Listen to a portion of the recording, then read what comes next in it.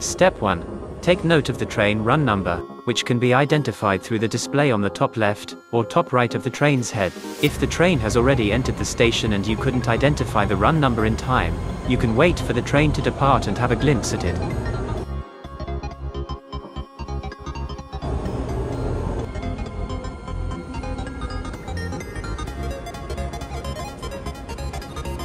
Step 2.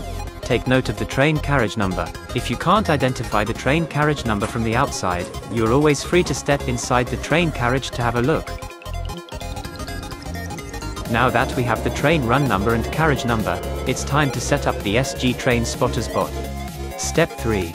Go to spotters.sgtrains.com on your browser. Scroll down until you see SG Train Spotters bot. How to use. Once you have seen it, click on it. Then scroll down until you see subscribe to SG Train Spotters bot. Once you have seen it, click on it. Before you click on it, you must create a Telegram account if you haven't already.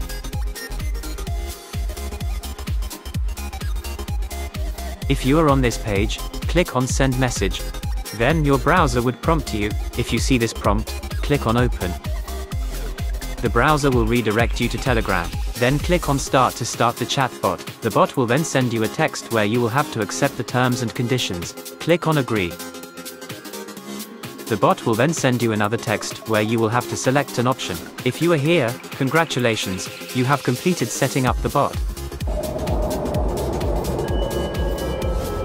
Since we are submitting our spotting to the bot, type the number 1 and send it into the chat. Then enter the train car, line abbreviation, and run number using the format given. In this case, our train car is 2341. The line abbreviation is NSL, which is a short form for North-South Line. The run number is 232. However, if you don't have the run number, you don't have to type it in since it's optional, but if you do, please type it in.